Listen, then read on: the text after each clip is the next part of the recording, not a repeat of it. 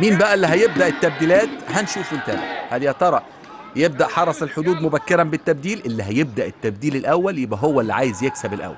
خلي بالكم اللي هيبدأ الأول هو اللي عنده الرغبة الأول. ادي انطلاقه لنادي حرس الحدود من ناحية اليمين الجبري الجبري 3 ضد 4 3 ضد 5 الجبري!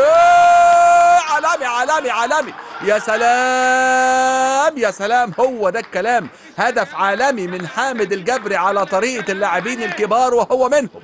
حامد الجبري لاعب مميز يسجل الهدف الأول لنادي حرس الحدود بعد الهجمة المرتدة السريعة. هو ده الكلام يا حامد. تسديدة ولا عبد الكافي ولا اتنين واقفين معاه يجيبوها. الكرة رايحة في الزاوية المستحيلة. وأدي فرحة الهدف. يا سلام يا سلام يا سلام. الهدف الثاني اللي يجيبه حامد الجبري في هذا الموسم. هدف قبل كده في مرمى أسوان.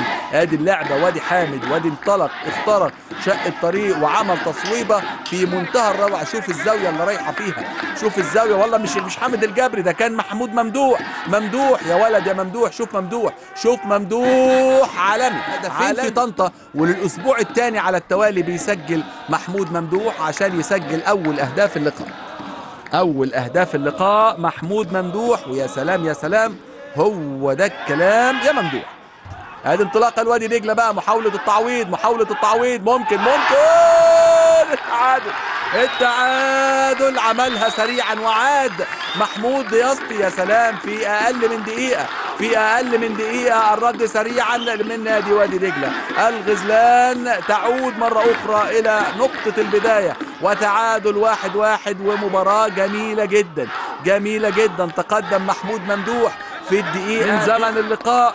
ويتعادل نادي وادي دجلة عن طريق اللاعب محمود السيد دياسطي في الدقيقة 60 بعد دقيقة واحدة فقط من تسجيل نادي حرس الحدود. يا سلام يا سلام يا سلام يا سلام. هو ده الكلام. قاعدين كده مشوقنا قاعدين حرمنا من الجمال والمتعة. وادي التفويتة الممتعة. لمست في لمست يد لعب الكرة على طول لنادي حرس الحدود مرة تانية ناحية الشمال. انطلاقة من أحمد شديد إناوي. أدي التب يا ولد يا ولد. أوه ركلة جزاء ركلة جزاء لنادي حرس الحدود فرمان فرمان وقرار من حكم اللقاء محمود رشدي بعد عرقلة كلاسن. دايلون مدرب نادي وادي دجلة. ادي شوف التمريرة السحرية. التمريرة السحرية وادي العرقلة لحامد الجبري من دايلون كلاسن. هنا حامد الجبري عمل حاجة حلوة. عمل بذكاء.